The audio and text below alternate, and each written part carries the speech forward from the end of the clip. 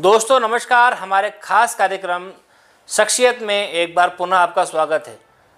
जैसा कि हमने आपसे कहा था कि हमारे इस कार्यक्रम में हम आपसे हमेशा इस शहर की, प्रदेश की या देश की कोई ख़ास शख्सियत से आपकी मुलाकात कराएँगे। तो हम आपके सामने एक बार फिर आज एक ऐसी शख्सियत से मुलाकात करा रहे हैं, जिसने बहुत छोटी उम्र में बड़े ही सामान्य तरीके से और बहुत छोटे से परिवार से और आ, ये कहें कि ट्राइबल एरिया से निकलकर मध्य प्रदेश में पीएटी में प्रथम रैंक हासिल की है। तो आज हम आपकी मुलाकात कराएँगे कन्हैया गोरे जी से। कन्हैया जी स्वागत है आपका। कन्हैया जी बताइए आपके बारे में आपके परिवार के बारे में बताइए कि कहाँ से हैं आप और परिवार में कौन कौन है आपके? सर मेरा नाम कन्हैया गोरे है। मेरे पापा का नाम प्रकाश गोरे है। मैं एक गाँव से निवास करता हूँ। मेरे गाँव का नाम बिलवानी है। मैं राजपुर तहसील तहसील राजपुर जिला बड़वानी का निवासी हूँ। सर मेरे पिताजी किसान हैं। तो कन्हैया जी आप मुझे बताएँ कि आपके पिताजी खेती करते हैं तो कितने एकड़ खेती है आपकी? सर हमारे यहाँ ज़्यादा तो नहीं है पर आठ से दस एकड़ ज़मीन होगी। क्या विशेष खेती करते हैं पिताजी आपकी? सर विशेष तो हमारे यहाँ निमाड़ क्षेत्र में अभी मिर्ची की मिर्ची और कपास की विशेष खेती की जाती है। तो वही चलता है। एजुकेशन कहाँ तक है आपके लिए? एजुकेशन अभी ट्वेल्थ पास की है। तो क्या आपने ट्वेल्थ और पीएटी दोनों साथ में क्लियर किया है? नहीं ट्वेल्थ में मतलब ऐसा था कि कर लो कर लो पीएटी भी उसी के साथ ट्वेल्थ के साथ। पर मैंने सोचा पहले ट्वेल्थ पे फोकस करते उसके बाद पी पीएटी करते हैं। अच्छा अच्छा।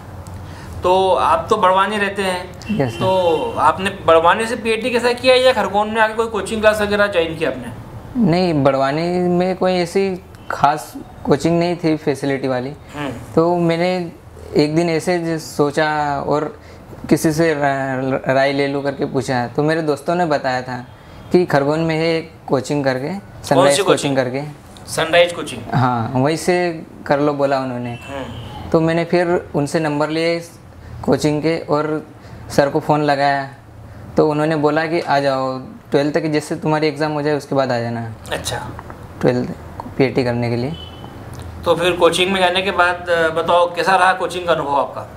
कोचिंग का तो सर कोचिंग में क्या है मैं जैसे पहले दिन गया था तो मैं इस ऐसा इसलिए गया था क्योंकि मैं सिर्फ़ डेमो के लिए गया था वहाँ। अच्छा। किस कि केवल डेमो दे, देखते हैं कैसा है क्या है नहीं तो फिर इंदौर चलेंगे कोचिंग करने। अच्छा। इसलिए गया था। पर वहाँ पर जाकर पहले दिन ऐसा लगा कि नहीं यहीं से करना चाहिए क्योंकि वहाँ पर टीचर इतने अच्छे हैं कि उन्होंने समझाया बहुत अच्छा हमको पढ़, पढ़ने की नई उम्मीद दी हमें। अच्छा अच्छा। ये सर किस टीचर ने सबसे ज़्यादा आपका सहयोग किया है इस पूरे मामले के अंदर? इस पूरा सहयोग तो सर अमित राणे सर को जाता है और और भी टीचर्स है जिनको जाता है जैसे मिश्रा सर हो गए और भी टीचर्स को जाता है। अमित राणे सर ने क्या हेल्प की आपकी स्पेशली मतलब? अमित राणे सर ने? उन्होंने हमें बताया कि कैसे क्या पढ़ना है डेली रूटीन क्या क्या क्या करना है किस तरह से पढ़ना है और क्या क्या मतलब क्या चीज़ें नहीं करनी चाहिए क्या करनी चाहिए उसी के बारे में बताया। क्या करना चाहिए तो हर कोई बताते हैं। हाँ। क्या नहीं करना चाहिए आपने कहा तो सर उन्होंने क्या बताया कि क्या नहीं करना चाहिए? सर उन्होंने बताया कि हमें किसी के बहकावे में नहीं आना है पहली बात तो। और यह कि अपने मतलब आत्मविश्वास को नहीं खोना चाहिए कभी भी। और धैर्य रखना चाहिए क्योंकि कई बार ऐसा होता है कि जैसे एग्ज़ाम लेट हो जाती है और टाइम हो जाता है बहुत टाइम के बाद आता है हो जाती है। जैसे पिछली बार कोरोना की वजह से हो गए थे लॉकडाउन की वजह से लेट चली गई थी। तो इसी तरह उन्होंने बताया था कि कभी भी अगर ऐसी परिस्थिति आए तो हमें धैर्य और साहस से सामना करना चाहिए उसका। अच्छा। क्या आपको ऐसा लगता है कोरोना के अंदर आपको अमित सर जैसे कोरोना के अंदर सब कोचिंग क्लास बंद थी? Yes, फिर आपकी पढ़ाई कैसे हुई कि अमित सर ने आपको कैसे हेल्प की? फिर उन्होंने आपकी कोचिंग क्लास ने कोई आपके लिए कोई विशेष क्लास लगाई थी? कैसा हुआ था पूरा नहीं उस टाइम पे तो मैं ही नहीं पढ़ रहा था लेकिन उस टाइम भी उन उनकी बैच के स्टूडेंट को बहुत उन्होंने सपोर्ट किया साथ दिया ऑनलाइन क्लासेस लगवाई थी। अच्छा। और बहुत कुछ करवाया था उनके लिए भी। अब आपका क्या उद्देश्य क्या है आपका? मतलब आप जो अपनी ये रैंक को तो आपने क्लियर कर लिया है। अब आगे भविष्य में क्या बनना चाहते हैं भविष्य में मैं कुछ किसानों के लिए ऐसा करना चाहता हूँ जो कि किसान किसानों के अंदर एक नई क्या आत्मविश्वास भरना चाहते हैं किसानों में या उनके लिए कोई विशेष टेक्नोलॉजी लाना चाहते हैं क्या यस सर। ऐसा कुछ विशेष कार्य करना चाहता हूँ जिससे कि पूरे देश का नाम रोशन हो और किसान किसानों को फ़ायदा मिले। आपने ये जो पढ़ाई की इसमें ऐसा क्या आप हमारे दर्शक को बताना चाहेंगे कि क्या विशेष पढ़ाई की आपने या मतलब आप घूमते फिरते रहे या आपने मतलब पूरी तरीके से पढ़ाई में झोंक दिया अपने आप को कैसा रहा मतलब का अनुभव पढ़ाई के अंदर? नहीं ऐसा कुछ विशेष तैयारी भी नहीं की नॉर्मली किया था लेकिन थोड़ा रूटीन डेली टाइम टेबल के हिसाब से किया था। क्या रूटीन कैसा था आपका?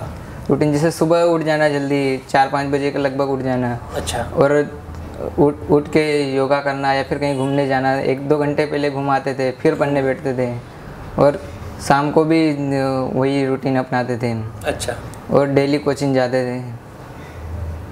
और पढ़ने में मतलब पूरा टाइम देते थे। हर चीज़ में टाइम देते थे। अब आप इसका पूरा जो आपके फ़िलहाल जो जिस आपने उपलब्धि हासिल की है इसका श्रेय किसे देंगे आप? इसका श्रेय मैं सबसे पहले अपने माता पिता को देना चाहता हूँ। उसके बाद अमित राणे सर को देना चाहता हूँ जिन्होंने हमें पढ़ाया और इस लायक बनाया इस रैंक के लायक बनाया। और पूरे सनराइज परिवार को देना चाहता हूँ। आपका आदर्श कैसे मानते हैं आप? मैं अपना आदर्श तो कहते हैं कि बच्चे का प्रथम गुरु माता होती है। लेकिन मैं मानता हूँ हूँ कि मतलब माता पिता दोनों होते हैं उसके प्रथम गुरु। बिल्कुल। इसलिए मैं आदर्श माता पिता दोनों को मानता हूँ और अ, मेरा स्पेशल आदर्श तो रानी सर को ही मानता हूँ। जिन्होंने हमें पढ़ाया है। देखो गुरु का भी प्रथम स्थान होता है। माता पिता के प्रथम गुरु तो माता होती है उसके बाद जिस गुरु ने हमें शिक्षा दी है जिसने हमें सिखाया है तो उनका स्थान तो प्रथम होना ही चाहिए।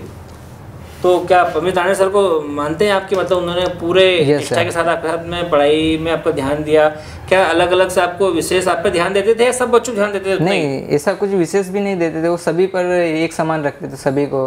सभी पर अच्छा फोकस करते थे। सभी को वो समझाते थे कि क्या करना चाहिए क्या नहीं करना सब बताते थे हमको। कन्हैया मुझे बताओ कि आपके मन में अभी फ़िलहाल क्या चल रहा है? मतलब कि एक्चुअल में पढ़ाई और फिर कृषि और जिस क्षेत्र से आप रहते हैं तो आपके मन में क्या क्या अलग अलग विचार उत्पन्न हो रहे हैं आपके मन में? सर मैं एक गाँव गाँव में रहने वाला हूँ। तो सर हम देखते हैं कि गाँव में कैसे किसान कार्य करते हैं उन्हें किस किस तरह की समस्याएँ आती है कार्य करने में वो दिन रात परेशान रहते हैं कृषि को लेकर। तो उसी चीज़ में मैं कुछ ना कुछ उनके लिए अच्छा और ला लाभदायक चीज़ें करना चाहता हूँ जिससे कि वे उन्हें आसानी से मतलब आसानी हो जाए कृषि के क्षेत्र में कुछ कार्य करने में। हमारे इस कार्यक्रम को लाखों दर्शक देख रहे हैं। मेरा ऐसा मानना है कि, जो बच्चे अभी टेंथ में है इलेवेंथ में है, आप उनको क्या संदेश देना चाहेंगे कि उन्हें टेंथ के बाद से शुरुआत करना है नाइन्थ के बाद करना है, या ट्वेल्थ के बाद करना चाहिए?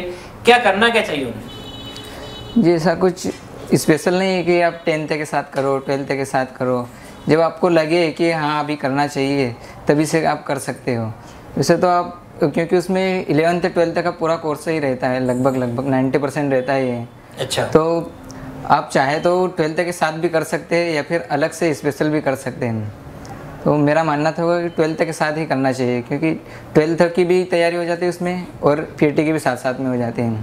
टफ पड़ता होगा थोड़ा ट्वेल्थ हाँ थोड़ा टफ तो पड़ता है पर उसमें फ़ायदा भी हो जाता है। अच्छा क्या फ़ायदा होता है उसमें? फ़ायदा ये हो जाता है कि मतलब एक साल एक्स्ट्रा हो जाता है पीटी के लिए अच्छा। उस। समय ट्वेल्थ की तो हो जाती है एग्ज़ाम तो उस उसका तो हो जाता है मतलब क्लियर और अलग से एक साल मतलब एक्स्ट्रा मिल जाता है और पीटी की तैयारी करने के लिए अच्छे से। अच्छा अभी आपने जो पेटीएम फ़र्स्ट रैंक का अपना हासिल कर लिया इसके बाद अब आपकी कौन सी एग्ज़ाम होगी? फिर उसके बाद क्या प्रोसेस रहेगी? थोड़ा हमारे दर्शक जानना चाह रहे थे कि थोड़ा सा बताएँ खुल के कि आप इसमें स्टार्टिंग से बताएँ कि आपने ट्वेल्थ किया फिर पीएटी किया फिर उसके बाद अपना फ़र्स्ट रैंक आपको मिल गया। अब इसके बाद अगली एग्ज़ाम कौन सी होगी जिसके लिए उनको उनको तैयारी करनी है उनको भी? सर मैंने ट्वेल्थ किया था। ट्वेल्थ कंप्लीट की थी सेवेंटी फोर मार्क्स से। अच्छा। तो उसके बाद मैंने सनराइज कोचिंग ज्वाइन की अच्छा। एम पी के लिए। हम्म। तो वहाँ से कोचिंग करी और अभी मेरी एमपी में फ़र्स्ट रैंक लगी है एस टी कैटेगरी से। अच्छा। तो अभी तो मतलब काउंसलिंग वाउंसलिंग स्टार्ट होगी। तब कॉलेज वॉलेज अलॉट होंगे। अच्छा। कॉलेज अलॉट होने के बाद बी एस सी एग्रीकल्चर से करना है। अच्छा। चार साल वहीं से करना है। उसके बाद और किसी अच्छे बड़े पद के लिए या फिर किसी कृषि के क्षेत्र में और कुछ वैज्ञानिक बनने के लिए या फिर शासकीय सेवक के लिए। हाँ शासकीय सेवक और वैसे कृषि के मतलब क्षेत्र में सहयोग करना है संपूर्ण। अपना पूरा संपूर्ण सहयोग देना है कृषि को। मतलब आपका ऐसा मानना है कि आपको शुरुआत में ही आपको मेहनत करनी पड़ेगी आपको न्यू मज़बूत करनी पड़ेगी। यस और न्यू मज़बूत करने के लिए एक कोचिंग संस्थान ज़रूरी है। तो किस कोचिंग संस्थान में आप दर्शकों को बताएँगे बच्चों ने जाना चाहिए? मेरे अंदर से तो सनराइज कोचिंग क्लास में सनराइज कोचिंग खरगोन में जाना ही चाहिए। क्योंकि वहाँ पर एक बार आप जा, चले जाते हो तो वहाँ से दोबारा आने का मन नहीं करता है। मतलब पारिवारिक माहौल है हाँ परिवार का माहौल बन जाता है क्योंकि सनराइज एक कोचिंग नहीं सनराइज एक परिवार है। अच्छा, और सब अच्छा। सुख दुख साथ में बांटते हैं। अच्छा। सभी टीचर अच्छे से रखते हैं। सभी मुसीबत के वक्त सपोर्ट करते हैं। सब त्योहार भी साथ में enjoy त्योहार करते सब हैं। साथ में एंजॉय करते हैं। तो चलिए ठीक है ये हमारे साथ में कन्हैया गोरे जी थे जिन्होंने अभी इस छोटी सी उम्र में प्रथम रैंक हासिल की है। हम ईश्वर से कामना करते हैं कि ये भविष्य में सच में हमारे मध्य प्रदेश के लिए एक बड़े वैज्ञानिक बने और खेती किसानी को लेकर एक बड़े आयाम छुए। तो दीजिए इजाज़त, नमस्कार।